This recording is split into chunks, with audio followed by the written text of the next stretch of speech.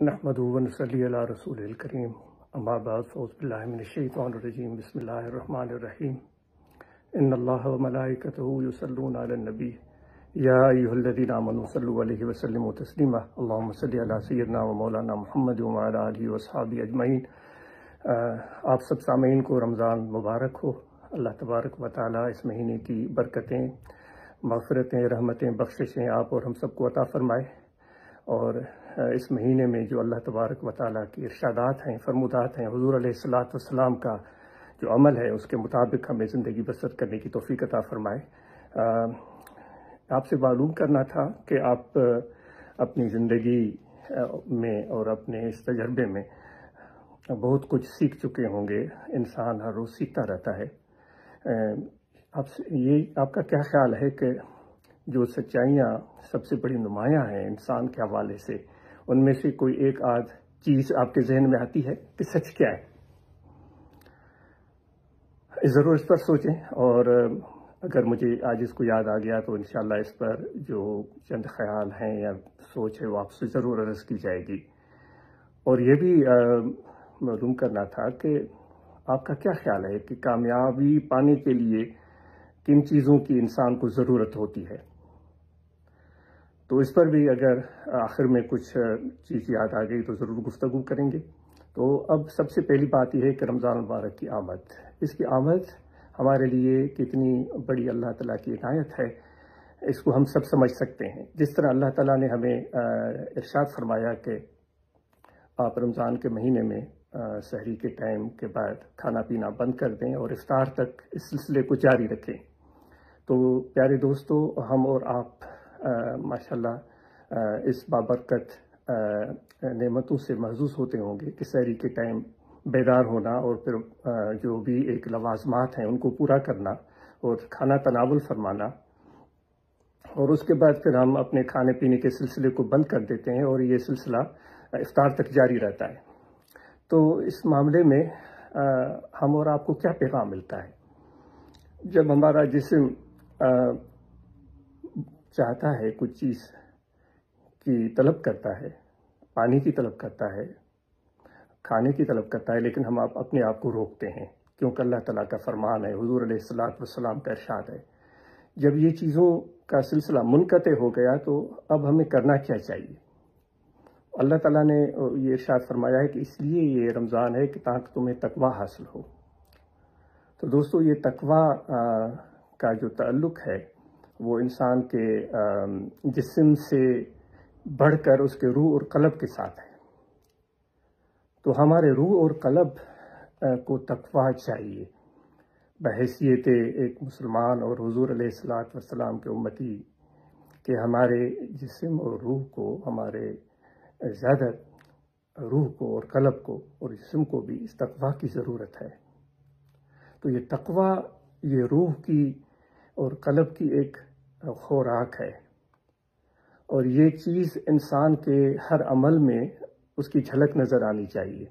तकवा किसी एक मुतन चीज़ के साथ वाबस्ता हम नहीं कर सकते कि हम सिर्फ़ इसको इबादत के साथ वाबस्ता कर दें या तकवा को हम सिर्फ़ किसी मुकदस मकाम पर हाज़िरी के साथ वाबस्ता कर दें या तकवा को हम आ, आ, किसी खैरात सदक़ात के साथ वाबस्ता कर दें। जो नाकिस ख्याल है, वो ये है कि ये तकवा तो हर अमल में इंसान को नज़र आनी चाहिए। जिस तरह पुराने मजीद में अल्लाह ताला ने हमें सिखाया है कि मुझसे सीधे रास्ते की तलब करो तो सीधा रास्ता इंसान के लिए हर कदम पर ज़रूरी होता है। सीधा रास्ता किसी एक मुतन चीज़ के साथ वाबस्ता नहीं है कि हम सिर्फ़ कहें कि पुलसरात के वासात वाबस्ता है, या हम ये सिर्फ़ ये कहें कि नमाज़ के साथ वाबस्ता है या रोज़े के साथ वाबस्ता है, ये ज़िंदगी के हर मरहले के साथ। मुस्तकीम का मतलब यह है कि ना आदमी इफरात में न जाए, ना आदमी तफरीत में जाए, न दाएँ बहुत ज़्यादा दूर चला जाए, न बाएँ, यानी रास्ते की बात हो रही है ना, न रास्ते पर बाएँ दूर तक दूर तक चला जाए, वो एक सीधे रास्ते पर एक तसलसल के साथ अपना सफ़र जारी रखे। अब इसमें इंसान की ज़रूरियात भी आ जाती हैं जिस तरह घर बनाना है, जिस तरह हमें लिबास पहनना है, जिस तरह हमें खाना खाना है तो इसमें भी वो मुस्तकीम, सरात मुस्तकीम लागू हो जाती है कि बहुत कम भी हम न खाएँ, कि बिल्कुल ही कमज़ोर पड़ जाएँ और बहुत ज़्यादा भी न खाएँ कि हम बीमार पड़ जाएँ। इसी तरह हमारे लिबास के साथ भी उसका ताल्लुक है कि हम इतना ज़्यादा महँगा लिबास भी न पहने जो हमारे जो ज़राए हैं वसाइल हैं, उनसे भी बढ़कर हो और न हम इतना ही एक एक मिसकीनी और गरीबी वाला लिबास पहने जो हमारी ज़राए और आमदनी के मुकाबले में कुछ भी ना हो। यानी इसमें भी हमें एक सीधे राह पर चलने की ज़रूरत है और यही अल्लाह तबारक व हमसे चाहता है कि अपनी ज़िंदगी में सरात मुस्तकीम पर चलो। गुफ्तगु हम करते हैं तो गुफ्तगु में भी सरात मुस्तकीम है। ये नहीं कि हम बहुत ज़्यादा बोलते चले जाएँ। और बिला ज़रूरत बोलते चले जाएँ खसूस ये महीना रमज़ान का चल रहा है। तो इसमें तो हमारे ज़ुबान के साथ भी इस रमज़ान मुबारक की आ, आ, का बड़ा ताल्लुक है कि हम इबादत तो कर रहे हों हम तरावी भी पढ़ रहे हों लेकिन हम हमारी ज़ुबान अपने कंट्रोल में नहीं है। हम झूठ बोल रहे हैं हम जो है रिबत कर रहे हैं हम जो है वो किसी की दिलाजारी कर रहे हैं हम किसी को गालियाँ बक रहे हैं हम किसी की गुस्ताखी कर रहे हैं उसकी उसके दर पे हैं और उसके ऐब ढूंढ रहे हैं। तो ये चीज़ें ऐसी हैं जो हमारे अमाल को बर्बाद कर देती हैं। हम एक दूसरे को समझाते तो हैं और सिर्फ़ अफसोस की बात यह है कि बयान की हद तक होता है। बहुत दुख की बात है। और यही वो वजह है जिस वजह से आज हम बहुत ज़्यादा कमज़ोर और पीछे की तरफ़ चले गए हैं अखलाकी लिहाज से। तो इसमें भी सरात मुस्तकीम की ज़रूरत है कि गुफ्तगु में भी तोज़ुन कायम रहे। तो मेरे दोस्तों, ये सरात मुस्तकीम को हम रमज़ान मुबारक में ज़रूर लागू करें अपने ज़िंदगी के हर कदम के साथ। और इन इससे हमें फ़ायदा ही होगा।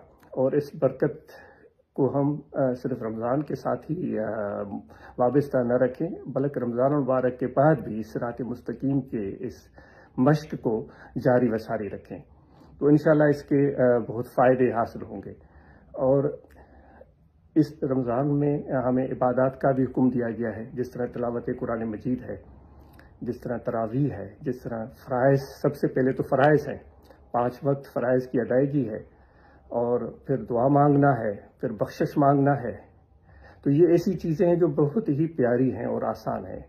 इसके लिए बहुत बड़े लवाजमात की ज़रूरत नहीं होती। वो लवाजमात हम अपने शौक से कर रहे होते हैं। जिस तरह के हम बड़े पुरतकल्लुफ़ अंदाज में अपनी इबादत की जगह बनाते हैं, हम पुरतकल्लुफ़ अंदाज में हम उसको सजाते हैं। ये आपका अपना दिल है। इससे अल्लाह तबारक व की तरफ़ से कोई हुक्म या ममानियत नहीं है। वैसे अगर देखा जाए तो इतना आसान अमल है, अगर आप ज़िक्र को ही ले लें, जिस तरह हमें मुर्शद कामिल ने हुक्म दिया है कि ज़िक्र करो।